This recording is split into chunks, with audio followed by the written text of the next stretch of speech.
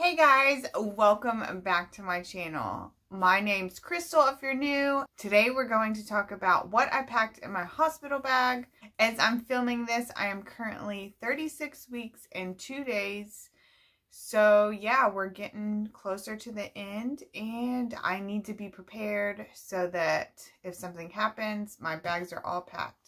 So today's video is all about what I packed for me and my husband. I'll do a separate video all about what I packed for baby girl.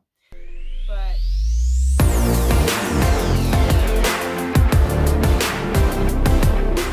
So like I said, today's video is going to be about what I packed for me and my husband.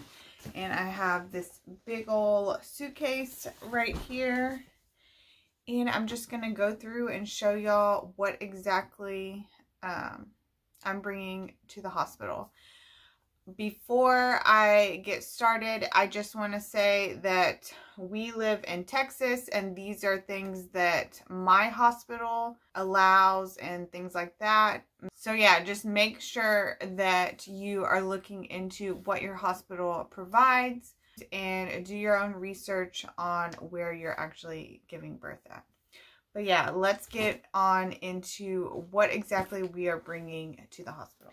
So the first thing that I'm bringing, and I actually didn't bring this last time, but I wish I did. You know, I am going to be bringing a big comfy blanket with me. Um, yeah, just the hospital bed blankets and stuff are not very um, thick and cozy. I just really want like a cozy blanket to um, cover up with if I, you know, want that in the middle of the night or whatever. And this one is super soft. So this is the one I'm bringing. Another thing that we are bringing to the hospital this time and that I so wish we would have brought last time was snacks. These are the snacks that I have currently, just some crackers and some, um, like a granola bar or whatever. But last time we got super lucky with um, food. Basically, with Benjamin's pregnancy, we ended up eating some lunch and then went into a doctor's appointment. It was the day after my due date, and the doctor basically was like, Your water's about to break. I'll just send you over to the hospital, and I'll be over to break your water in a little bit and yeah, we ended up having him around, um, I think it was 8.06 that night. The cafeteria and all of that stuff was all closed by the time we had Benjamin cleaned up and we were all good to go. And they were like, yeah, I'm sure you're hungry, but um, everything's closed. Let me go see if I can find something for you and basically they gave me some like crackers and like a little soda or something but Matt really had nothing and it just so happened that Matt's parents had came to um, come see Benjamin and us um, as well as my parents but Matt's parents ended up bringing a fruit basket so Matt was able to eat because of the fruit basket. He was able to eat like a banana or an apple or something like that. But because of COVID and everything, we obviously know there won't be any visitors. So I'm definitely packing snacks just in case something like that happens again. And I may add um, something sweet to our snacks too. I am having to deal with the gestational diabetes right now, so I haven't had anything sweet in a little bit. So I may have to add something to my snacks so that I can, you know, eat something that um, I haven't been able to eat in a while. So we'll start out with my stuff. My I just finished packing like a couple hours ago because my coming home outfit um, that I'll be wearing home from the hospital just came in the mail today. So after this video, I will be washing it real quick and then putting it back in my bag. But um, what I will be wearing home from the hospital are these comfy pants. They are so soft. Like, I can't wait to wear these. But they're just um, some stretchy pants with a drawstring. And the bottoms are just, you know, kind of, they're not like skin tight or anything. They just kind of hang. Comfy pants to wear home from the hospital. And then with that, I am going to probably be wearing this um, shirt. I got it from Amazon as well as the pants.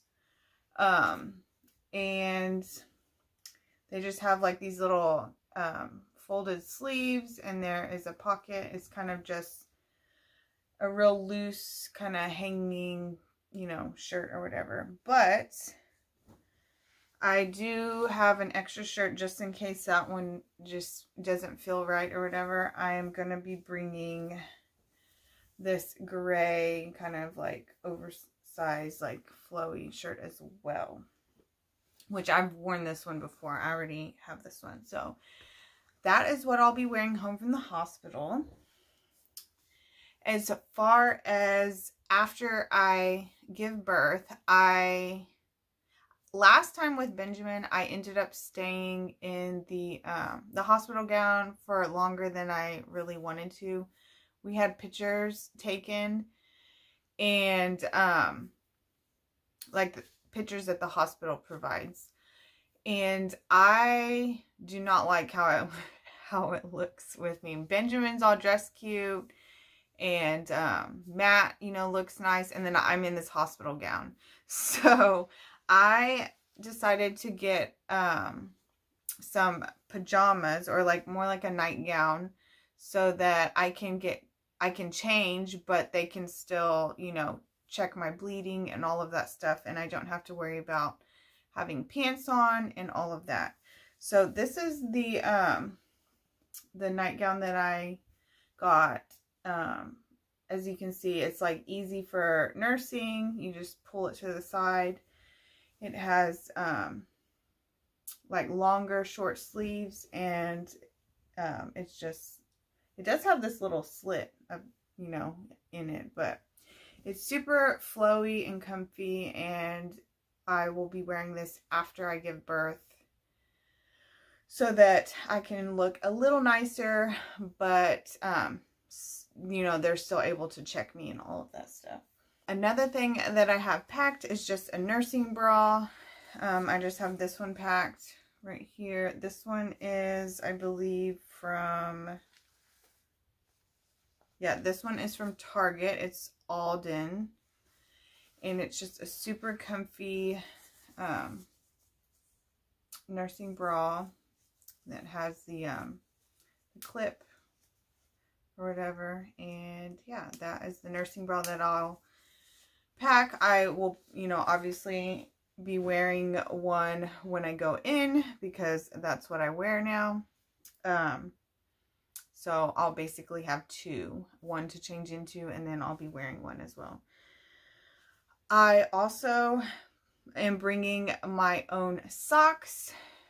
Um, I have two pair right here because I do not like the hospital socks. They are just, they don't fit right. there are I feel like they're like one size fits all. Um, but if you do get your own socks, make sure that they have the little grippies on the bottom because otherwise you um you could fall, especially if you get epidural. So you need the little grippies on the bottom.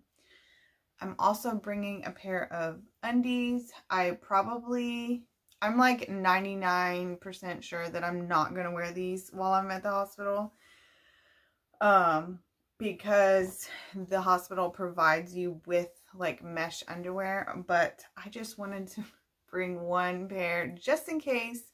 But like I said, I'm 99% sure that I won't be wearing these until like I get home or whatever.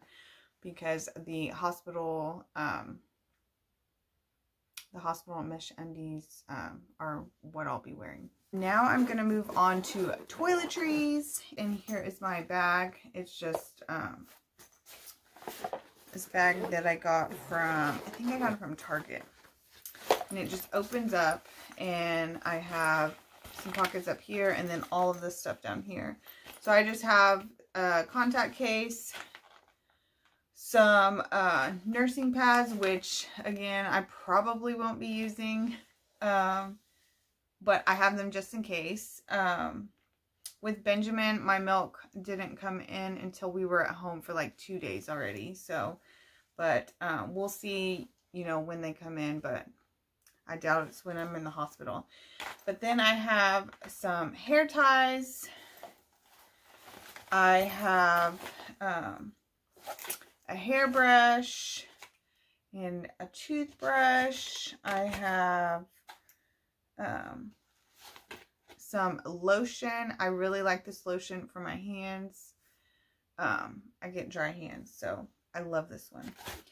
I have some contact solution, which this uh, my husband will share with me. I also have a little container in here. Um, this has coconut oil that I'm going to use for um, like nipple cream. I also have some chapstick. You want chapstick because when you're pushing and breathing hard and all of that stuff, you definitely want chapstick. I have a little thing of deodorant. I have some shampoo and some conditioner. And I have some toothpaste. And I have some face wash for myself. And some soap. And then, oh, I also have some Q-tips if I need those. Another thing that I'm bringing, which this is not like I'm probably I may not even use this honestly but I am bringing my makeup just in case. Um, I may want to put some on after I take my shower and get all cleaned up because after labor you're all nasty and stuff. But I definitely will be taking a shower while I'm at the hospital and I may want to put makeup on and I also may want to straighten my hair. So I have my hair straightener, but again, if I don't, you know, do those things, it's not a big deal. I just want to have it just in case. And that is basically it for me. So now I'm going to move on to Matt and show y'all what I packed for him.